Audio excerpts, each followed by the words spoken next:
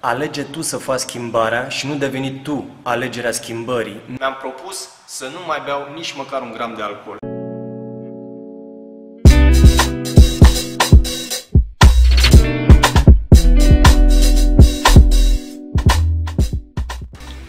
Salut prieteni, Doru sunt și astăzi o să vorbesc despre provocările mele.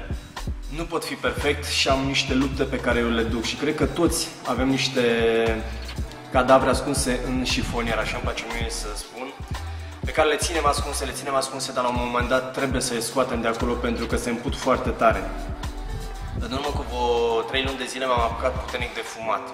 Îți dai seama că nu cădea deloc bine în postura mea să fumez. Veneam la centru, fumam, în condițiile în care îmi doream să fiu un exemplu pentru ceilalți. Dar mă scuzam foarte simplu, pentru că creierul nostru e foarte șmecher, spunând, ok, nu are nicio treabă fumatul cu slăbitul. Mi-am propus în momentul respectiv așa, joi mă las de fumat.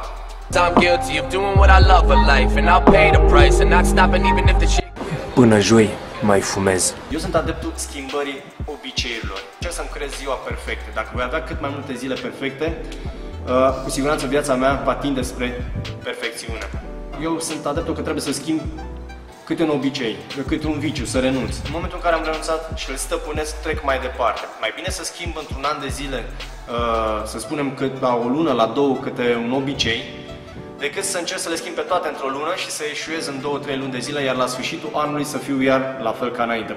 După partea cu fumatul, vreau să trec la partea cu consumul de alcool. Mi-am propus să nu mai beau nici măcar un gram de alcool. Evit tot ce conține alcool. Și spun și de ce. Uh, dacă ai citit cartea mea Schimbare pe mișcare, acolo vorbesc puțin despre povestea mea copilăria mea. O copilărie în care am avut în jurul meu doar persoane care erau consumatoare de alcool. Bunica mea a murit, țin minte, tot ca urmare a consumului de alcool, să spunem. Uh, tatăl meu este alcoolic. Deci am tot felul de exemple de așa nu, dar ideea este, crezi că eu m-am schimbat, crezi că am spus, a, ok, lasă, știi, eu nu am voie să fac așa, am văzut, am exemple în casă. Nu. Am consumat alcool, bine, uneori mai exagerăm. Dar problema a fost în momentul în care mi-am dat seama că aproape consum zilnic, după antrenamente, seara, o bere, un vin, uh, mergeam la strand, în loc să petrec la șezlong, mai mult stăteam la bar. Așa mă simțeam bine. Trebuie să fim realiști că clar, era o problemă și mi-am spus în felul următor, stop, trebuie să schimb ceva. Cred că majoritatea oamenilor care eșuează, uită-te pe stradă, oameni care cerșesc, oameni care n-au casă, care asta au un numitor comun, consumul de alcool. Dovadă fiind și tatăl meu, care este exact în aceeași situație. Motiv pentru care mi-am spus în felul următor. De pe data de 12, luna 7, luna aceasta, am zis stop, nu mai consum nicio gură de alcool. Ultima doză de bere pe care am consumat-o, am să o iau și o să o pun la stâlpul viciilor. Aceasta este ultima mea doză de bere pe care am consumat-o. Pot să o pun așa pe stâlp, motiv pentru care o să-i schimbăm puțin aspectul. Dacă tot suntem la centru de slăbit, să-i dăm o formă mai fit.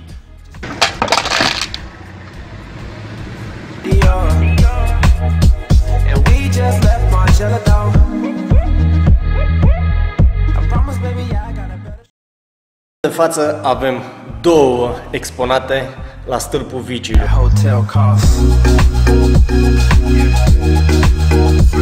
Să recapitulăm.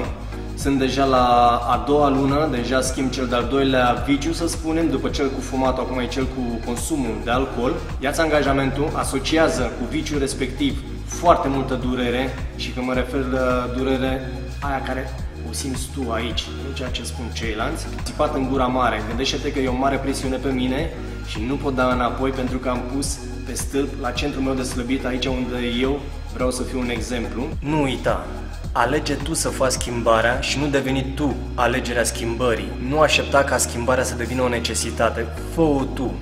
A acționa înseamnă să deții controlul. A reacționa înseamnă că ai pierdut controlul. Dacă îți place materialul pe care eu l-am făcut, te rog dă un share, abonează-te la canalul meu de YouTube și să ne auzim pe data viitoare. Nu uita, schimbare prin mișcare.